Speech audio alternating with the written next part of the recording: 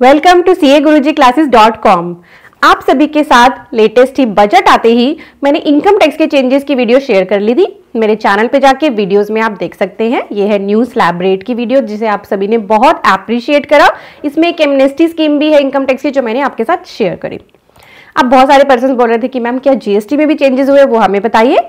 तो आपके साथ डिस्कशन कर रही हूँ जीएसटी के चेंजेस आपके लिए बहुत बड़ा रिलीफ है। बजट 2024 में जैसे कि इनकम टैक्स के बहुत ज़्यादा चेंजेस नहीं हुए हैं, इसी तरह से जीएसटी में भी कोई भी मेजर चेंज नहीं है। सिर्फ़ दो या तीन सेक्शंस में ही चेंज है और आपको जानना ज़रूरी है, अगर आप प्रोफेशनल हैं जीएसटी में अपनी खुद की प्रैक्टिस करते हैं तो आपके लिए बहुत ज़रूरी है कि आप इसे अच्छे से समझ लें, क्योंकि मैं बहुत इजी लैंग्वेज में आपके साथ शेयर कर रही हूँ। यहाँ स्क्रीन पे आपके सामने आर्टिकल है। इस आर्टिकल में मैंने सारे चेंजेस डिटेल में कवर कर दिए हैं और वीडियो में तो आपको बता ही रही हूँ। तो पहले जो चेंज आया है वो चेंज है जीएसटी में इनपुट सर्विस डिस्ट्रीब्यूटर की डेफिनेशन चेंज करी गई है। अब अगर आपको ये कंसेप्ट नहीं पता है आईएसडी का तो आपको बताना चाहूँगी कि इनपुट सर्विस डिस्ट्रीब्यूटर के अंदर होता क्या है। मान लीजिए राम है। राम का हेड ऑफ़िस है। राम एंटरप्राइज राम ने अपने बिज़नेस को एनहांस करा। धीरे धीरे अपनी कई ब्रांचेस बना ली।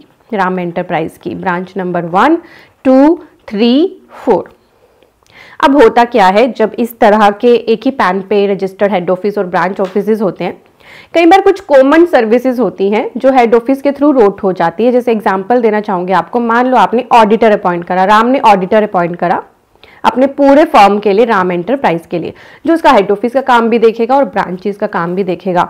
मान लो ऑडिटर ने हेड ऑफ़िस के नाम पे बिल रेज कर दिया टू लाख रुपीज़ का और उस पर लगा दिया एटीन परसेंट जीएसटी।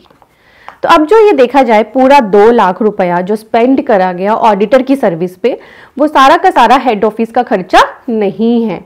अगर ऐसा कर दिया जाए कि ये पूरा खर्चा हेड ऑफ़िस की बुक्स में डाल दिया जाए तो बुक्स सही पिक्चर नहीं दिखा पाएँगी। आपको पता नहीं चलेगा कि किस ब्रांच में प्रॉफिट है किसमें लॉस है। तो ये काम आप एज पर अकाउंटिंग रूल्स नहीं कर सकते। तो इसीलिए इस तरह के इनवॉइस के केस में जो जीएसटी होता है ठीक है जैसे यहाँ पे मान लो 36,000 का जीएसटी है तो अब ये 36,000 का जीएसटी ब्रांच ऑफिसेज में भी डिवाइड करना पड़ेगा क्योंकि ऑडिटर की जो सर्विस है वो पूरे एक ग्रुप के लिए ली गई है।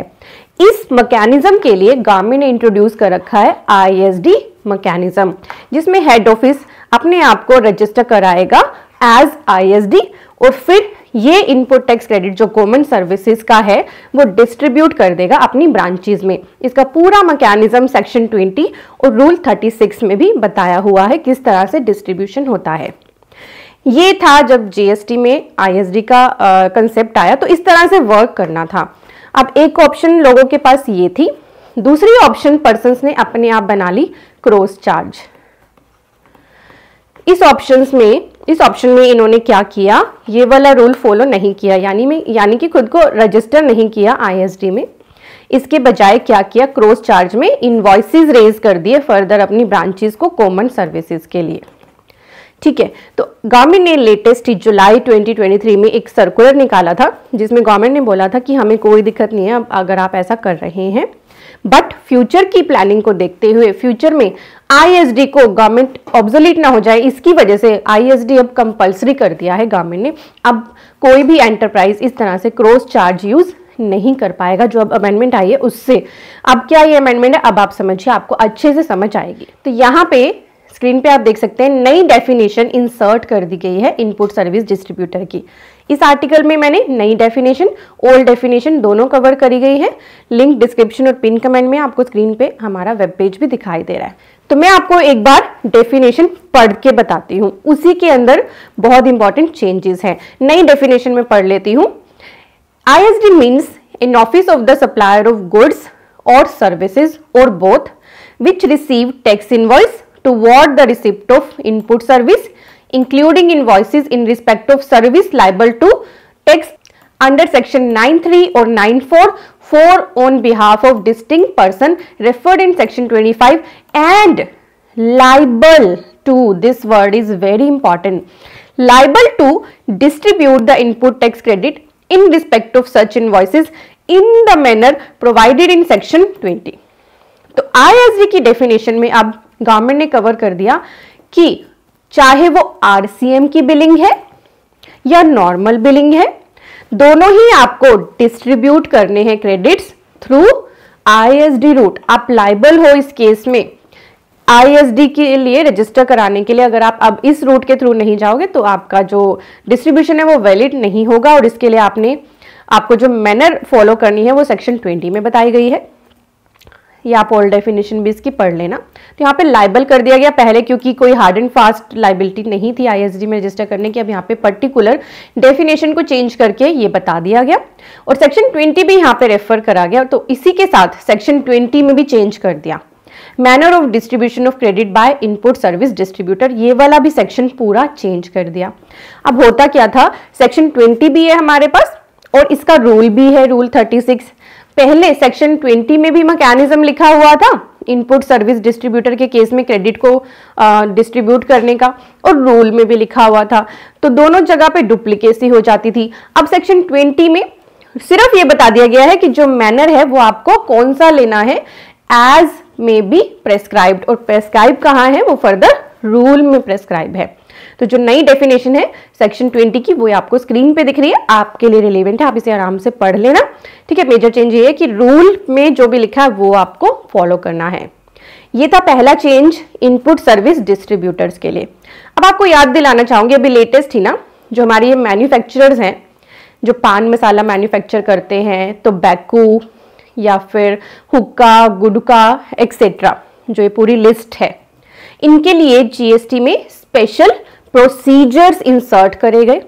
इनके लिए एक्सपोर्ट के केस में भी कुछ लिमिटेशंस लगाई गई, क्योंकि जो ये सेक्टर है ना, ये थोड़ा सा अनऑर्गेनाइज्ड है। यहाँ पे टैक्स की मैन्यूपुलेशन बहुत ज़्यादा है। तो गवर्नमेंट इनको कंट्रोल करना चाहती है। इसीलिए इनके लिए स्पेशल प्रोसीजर्स बनाए गए हैं। इनको अपने जो मशीन्स हैं, जिनमें ये सब कुछ ये मैन्युफैक्चर करते हैं, उनकी डिटेल जीएसटी पोर्टल पे डालनी है। और पोर्टल पे जल्दी ही ये एक्टिविटीज़ जो मशीन की डिटेल्स डालने के जो फॉर्म है वो एक्टिव होने वाले हैं। और गवर्नमेंट ने अब इसी के लिए, इन्हीं मैन्युफैक्चरर्स के लिए एक नई पेनल्टी इंसर्ट करी है सेक्शन 122 कैपिटल ए इसका सब्जेक्ट है penalty for failure to register certain machines used in manufacturing of goods as per the special procedure तो आफ्टर सेक्शन 122 122 कैपिटल ले आया है। इसमें क्या लिखा है? थोड़ा सा पढ़ते ताकि पढ़ना का इस पढ़ना इसलिए रिलीवेंट हो जाता ताकि आप मेरे साथ पढ़ लें और मैं आपको फिर ब्रीफ में बता दूँ। Notwithstanding anything contain in this act where any person who is engage in manufacturing of goods in respect to which any special procedure relating to registration of machine has been notified under section 148 तो कौन से manufacture है वो मैंने आपको बता दिया। In contravention of the said special procedure इनको अगर फॉलो नहीं करेंगे then he shall in addition to any penalty that is paid और payable by him under chapter 15 और एनी अदर प्रोविज़न तो कोई और पेनल्टी अगर उन पर लग भी रही है तो भी they will be liable to pay a penalty equal to an amount of one lakh rupees for every machine not so registered तो इन मैन्युफैक्चरर्स को जितनी भी मशीनों पे ये काम करते हैं, उनकी डिटेल रजिस्टर करनी है जीएसटी पोर्टल पे अदरवाइज़ एक लाख की पेनल्टी है।